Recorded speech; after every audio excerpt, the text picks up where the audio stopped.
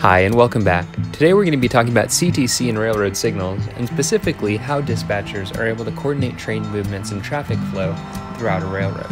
We're back at Tim Dickinson's incredible BN layout, and he's faithfully recreated a US&S type CTC machine with operating switches, signals, and track detection. So we're going to use this layout to really showcase CTC and hopefully teach you a little bit about it. Now in CTC, or Centralized Traffic Control, a dispatcher has three main tools to coordinate train movements. The first is the ability to tell where the trains are with track occupancy. The second is the ability to control the signals and tell the engineers when to go and when to stop. And the last is the ability to control the switches to tell the trains which tracks they're going to take. And we'll take a look at the first two now. Before we head over to the dispatchers panel, I wanted to look at how a railroad is laid out so that CTC can actually work and it's usually divided into blocks or sections of track, and then trains have permission into and in between those sections of track. Typically, where there's switches, it's called a control point, and there's also signals guarding the control point, telling trains whether they can enter it and proceed through it. So here you can see is pretty typical of what a dispatcher might see, and then the light pink uh, dots indicate whether a train is on that block. So you can see proceeding through the control point on the main line, the uh, indicator light will come on on the main track on the top of the screen as the train enters it. You can also see that there's the tail end of a train on the siding to the left, and that's indicated on the dispatcher's panel as well. It's just a, a schematic, and we'll see that in the board here, but I just want to show you how that correlates to the railroad in real life, and Tim has done a great job at recreating a section of a track, which is shown on the dispatcher's panel. So this is the control point of Summit, there's a crossover here, and take a look for it when we head over to the dispatcher's panel. The third and final tool that a dispatcher has is the ability to control a switch. In a US&S type CTC machine, it's known as normal and reversed. It's normal if it's lined for the main line, or you can see the switch points throw here to the siding, in which case it's known as reverse.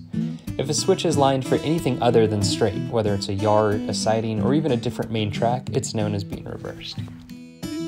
So with a little bit of information about CTC and how railroad is laid out, Welcome to the dispatchers panel. This is what a dispatcher might see, and rather than tell you about it myself, I wanted to let an expert do it. So, meet Barry Draper. He's going to tell us a little bit about this machine, and he has a wealth of knowledge about CTC and lots of experience operating US&S type machines. So, I just wanted to say thank you to Barry, and for the next few minutes, enjoy a little bit of firsthand knowledge about US&S type CTC machines entire main line is under control of the dispatcher from this machine. It's a replica of a US and S CTC machine uh, as would have been still in use in 1976. Now basically, you've got a model board up here, shows you where the trains are, and then the levers down here that control signals and switches. We've got a train up here at Summit in the siding, the north siding.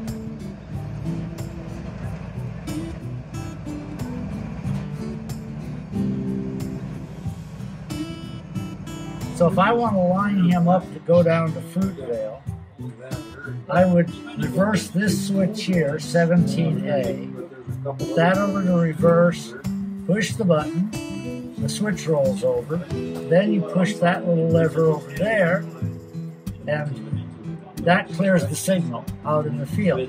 So this train now has a lineup to go as far as Fruitvale.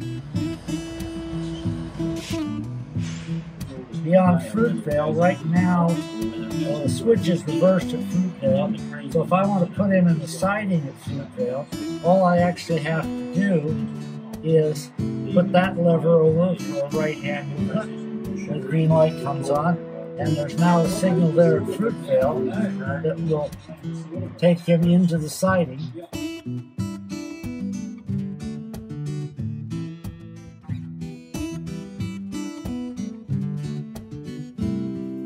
Microphone comes down here, and normally I would have a headset on just because it's hard to hear with all the noise of the trains, being that we're actually in the layout and not in a separate room. Uh, it would be a speaker in a real installation. And I have a foot pedal down here on the floor. This is my foot pedal and that allows me to activate the transmitter. And during operating sessions, all of the engineers have an FRS radio with a headset. they're wearing that. They can, of course, communicate between each other, but that's primarily to communicate with the dispatcher. So when a train is ready to leave um, Elliott Yard, Elliott Yard really isn't on the model board because it's not in CTC. It's a yard. And so there are two ways to get out of Elliott Yard here, but neither one of those are actually signaled switches. So I don't line a train out of Elliott Yard. Rather, the train calls me on the radio and says, We're ready to go east from Elliott Yard.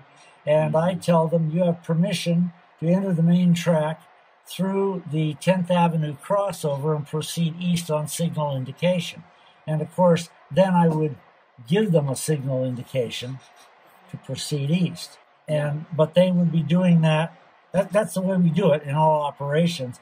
Leaving the main track, they don't really have to call me and get permission, but um, they usually will call me and tell me when they're in the clear, so I know they've got the main track back. Well, I hope you enjoyed learning just a little bit about US&S type CTC machines. Eventually, as technology advanced, they were replaced by more modern computers in which a dispatcher just looks at a screen, is able to point on the schematic of the layout, to throw the switches and line the signals. But this is just a fun look into a previous era and how the signals in CTC ran. So thanks for watching, and until next time, I'll see you later.